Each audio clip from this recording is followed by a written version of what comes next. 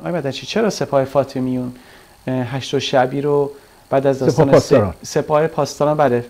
سپاه پاسداران. همین هشت و شعبی و گروه های فاطمیون و این در واقع نیروهای خودش رو برای در واقع بعد از داستان سیل وارد ایران کرده. این موضوع رو شما چطور می‌بینید چه تاثیراتی تو زمینه اجتماعی گذاشته؟ بله.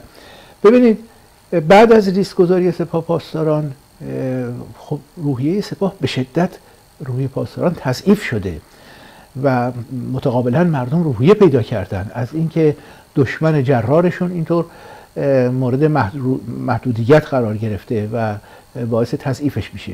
خب رژیم برای اینکه این قضیه رو این مثلا تابلو رو تغییر بده خب پاسداران برون مرزی خودش رو هشت و شعبی و نمی‌دونم گروه های جنایتکار و اوباشی مثل به نام فاطمیون و چی و چی و اینا اینها همه در واقع پاسدار هستن پاسدارایی که حالا منتها خب عراقی نمی‌دونم اتباع افغانی هستن پاکستانی هستن ولی پاسدارن.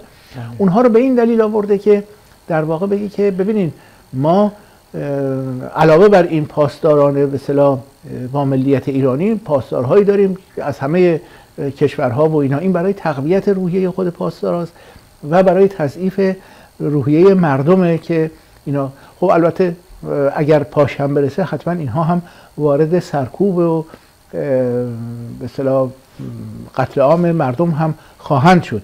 ولی در وهله اول خود حضور اینها رژیم می‌خواد از این یک استفاده بسیار تبلیغاتی و روانی بکنه برای تقویت اون یا با سرخ کردن سیلی خودش که در اثر این مثلا لیست گذاری به شدت تضعیف شده و زار و نزار شده. می‌خواد این رو مثلا خودش رو قدرتمند جلوه بده. کما اینکه